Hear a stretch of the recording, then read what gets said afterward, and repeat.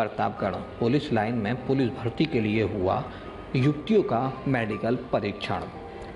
Pratapgarh, Uttar Pradesh police में भर्ती होने के लिए मेडिकल परीक्षण देने पहुँची बच्चियों के चेहरे पर दिखी खुशी की लहर।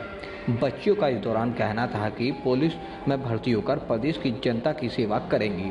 पुलिस लाइन प्रतापगढ़ में चल रहा है मेडिकल परीक्षण।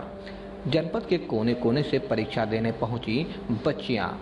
प्रीति सिंह वंदना मौर्य श्वेता सरोज मनीषा साहू प्रीतम पांडे काजल मिश्रा पुलिस भर्ती होने के लिए बेटियों के चेहरे इस दौरान खिले नज़र आए। बच्चियों का कहना है कि परीक्षा में पास हुए तो हम लोग करेंगे देश की जनता की सेवा। आज आप लोग पुलिस लाइन में किस लिए आप लोग आई थी? आज हम लोग हम लोगों को मेडिकल पुलिस लाइन में आज हम लोग का मेडिकल अच्छे से हुआ। आप लोगों को कैसा महसूस हो रहा है मेडिकल देने के बाद? जो बहुत अच्छा है हो जाएगा।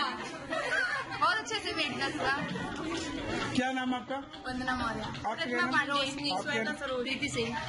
मनीषा साहू। काजल मिश्रा। आप लोग पुलिस बनकर आगे क्या करना चाहेंगे? अपने देश की सेवा करेंगे।